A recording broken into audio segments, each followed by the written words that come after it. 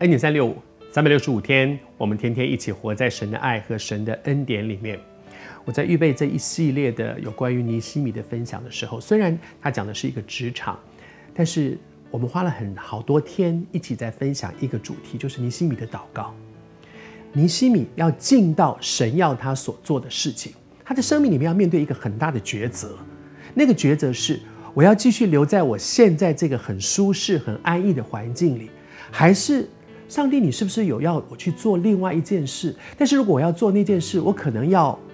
我可能要舍弃很多东西。那些对他的人生是一个很重要的抉择。你也正在面对这样一个重要的抉择，不要做一个将来后悔的决定。因此，你一定要明白神对你的心意，在祷告里面明白神对你的心意。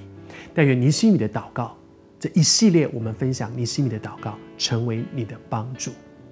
尼西米的祷告里面，在后过去这几天里面提到说，他先处理罪的问题，而且那个罪的问题还不只是我一个人，我在为我整个家族祷告，我就要处理我们的家族有什么得罪神的事；我在为我整个的公司祷告，我就要为这个公司有什么不合神心意的事情，来在神面前去认罪去处理。我为整个城市祷告，我为整个民族祷告，我就要看看我们的民族、我们的城市在我们的历史上有些哪些事情是不讨神喜悦的，我就去处理这些事情。所以他说：“我和我父家，他不是单单想我这个人，是我在祷告，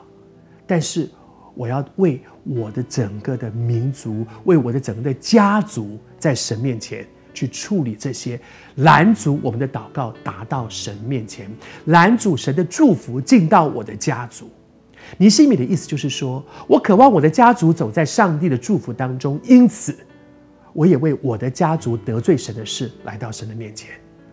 求主帮助我们，让我们的祷告有一个属灵的宽度，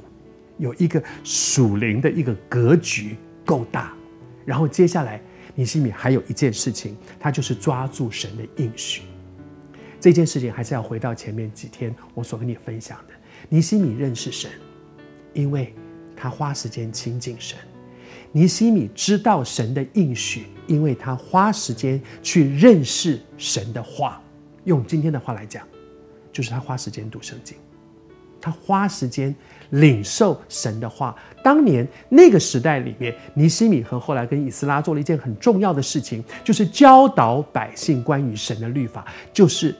那个时候，相对于现在，就是教导百姓认识圣经。